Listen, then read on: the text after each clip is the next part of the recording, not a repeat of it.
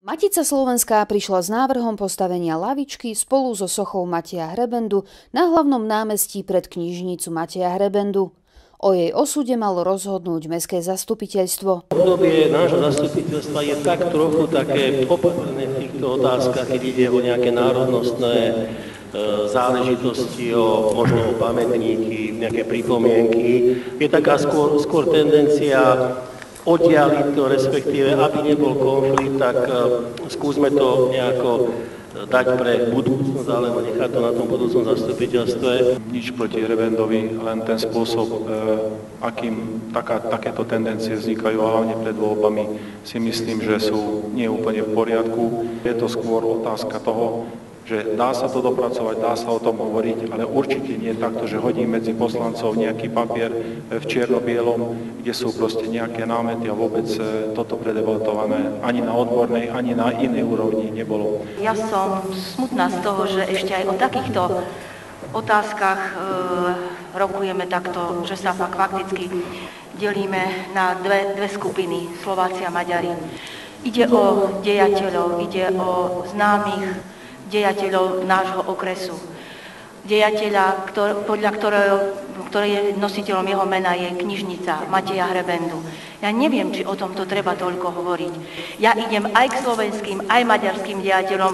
Ja absolútne v tejto otázke nerozlišujem, či sú to slovenskí, či sú to maďarskí. Takže ja si myslím, že to je úplne zbytočné prekladať a zase uh, ja, ne, ja nemám pocit potreby zriadiť komisiu Akú komisiu? Kto by o tomto mal rozhodnúť? Piatimi rokmi bol som to ten primátor mesta Rimavskej soboty, ktorý povedal, urobím všetko, povedal, že urobím všetko preto, aby som Tompu Miháľa položil na jeho pôvodné miesto na Tompovom námestí. Riešil som to tak, že som zvolal 17 členov komisiu. Boli tam občianské združenia, bola tam Matica Slovenská, Čematok, ďalší politické strany až na jedného človeka, nebudem hovoriť teraz jeho meno, všetci súhlasili, že áno, Tom Pamihá patrí na svoje pôvodné miesto, čo sme aj zrealizovali. Pripomeniem pánovi Valovi, že bez projektovej dokumentácie som vrátil ho späť.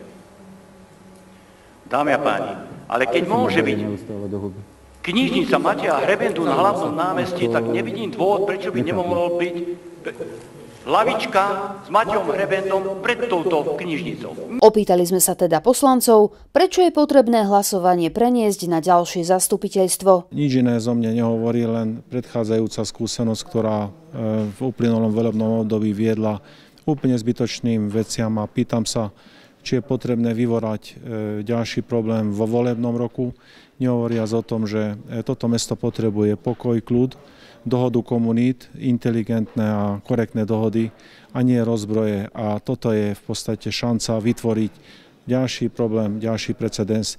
Takže nik nie je proti Hrebendovi, len treba dodržať nejaké postupy, proste urobiť e, širšiu diskusiu, a ak sa dohodne, že proste na hlavnom námestí to má byť a je to prospešné nie je to v rozpore s pamiatkovým zákonom alebo čímkoľvek iným, nech je to tam. Že keď ideme do týchto súvislostí, tak v podstate vieme, čo chceme mať na hlavnom námestí. Teraz kto bude mať ďalší dobrý nápad a každý dobrý nápad bude znamenať jednu sochu, ako bude vyzerať to hlavné námestie. Takže tak ako veci by sa mali robiť koncepčne v ostatných veciach, tak už na hlavnom námestí asi, asi maximálne. Na hlavné námestie je pamiatková zóna. E, jedným z najdôležitejších e, orgánov štátnej správy v povoľovaní akýkoľvek objektov stavieb alebo čohokoľvek iného v takýchto zónach je Krajský pamiatkový úrad. Uh, ja sa na to čisto technokraticky teraz pozerám. Uh, myšlienka je to dobrá, ale je potrebné, aby sa k danej problematike vyjadrili, vyjadril Krajský pamiatkový úrad, uh, aj komisie preto zriadené pri mestskom zastupiteľstve a vhodné je, aby sa vzriadila aj odborná komisia zložená z odborníkov, historikov, architektov, ktorí k tomu majú čo povedať a môžu túto dobrú myšlienku ešte vylepšiť. Takže schváľovať niečo, čo je dobré, hr, hurá systémom, bez toho, aby sme sa o tom naozaj neporozprávali a nevyjadrili sa k tomu odborníci, nie je správne. A, a zbytočne sa aj dneska zo strany e, primátora do toho vnášali, vnášali národnostné vášne. Toto nie je o tom. To, jednoducho má to byť postavené na odbornej úrovni a e, myšlienka dobrá, akákoľvek, od kohokoľvek príde, keď bude podporená takýmito vyjadreniami a takýmito e, stanoviskami dotknutých orgánov. Nevidím dôvod, prečo by nebola podporená. Pre televíziu Rímava, Kukina.